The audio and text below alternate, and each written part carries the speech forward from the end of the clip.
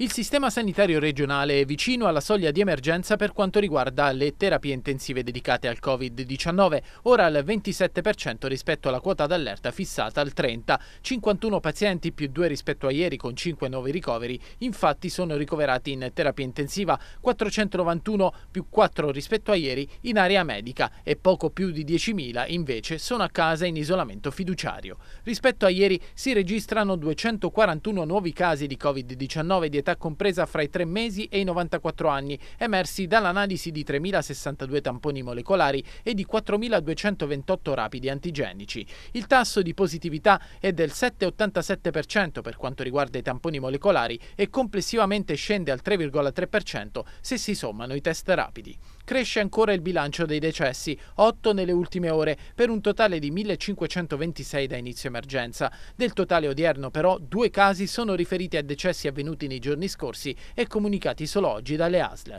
Aumentano i guariti e questo porta alla diminuzione degli attualmente positivi, oggi 10.749, meno 205 rispetto a ieri.